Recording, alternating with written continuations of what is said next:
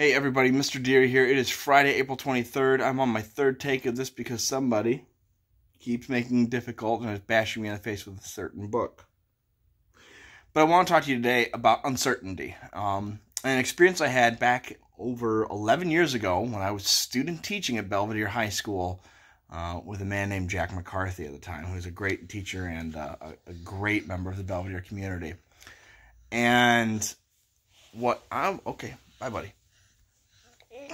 what I remember from this morning is that on my way to work, I'm driving down 20 from Cherry Valley, where I was living at the time, and the entire road was covered in fog. Every side, both left, right, north, south, every direction was foggy, so much so you could barely see a car length in front of you. And by the time I got to school and made it there fine, but there was a couple times where I just I had no idea if there was a truck or a car, if the lights near the uh, the Chrysler plant were were were going to be red or green or yellow, so I was just taking it slow. And the uncertainty that comes from fog. And what an apt feeling that life feels like right now, where we have fog around us at all times about the future of our summers, of our next school year. Uh, you know, we can we can extrapolate every scenario and every concern that we have about what's going on in the world right now. My son is coming back. Oh, here we go, buddy and we don't know what's going to happen. And we don't have the ignorance of a child in some cases where we don't have to worry about these things. But honestly, it is just unnerving. There he goes.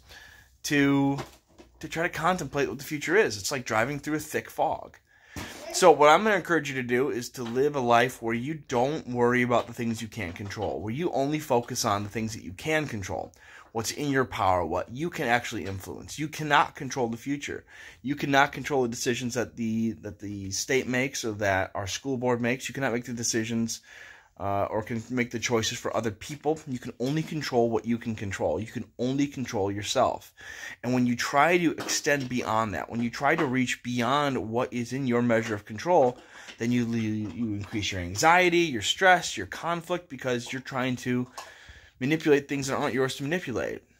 Live a life where you can be content controlling your world. Make that square footage that you have access to in your life, make it the best that you can. And and don't try to reach beyond that. So, as my son plays music to send us out here, remember, control what's within your ability to control. Be the master of your sphere. Don't try to control the things that are beyond you have a great weekend. Um, got a couple things going on in my life right now that I'm trying to control little fires and little problems and little things to do like grading and organizing and cleaning and cooking and all that. So I'm going to try to take my own advice as well because there are certainly days where I want to be in control of everything and uh, that's just probably not for the best. So know that you are missed. I know that I have appreciated seeing so many of you in live streams, that I miss seeing you every day uh, in class. And for real, I say it and I mean it. If you need anything, do not hesitate to reach out. If you know you have a friend in need, don't hesitate to reach out. We're all in this together. So, as always, go Bucks and have a great rest of your day. Take care.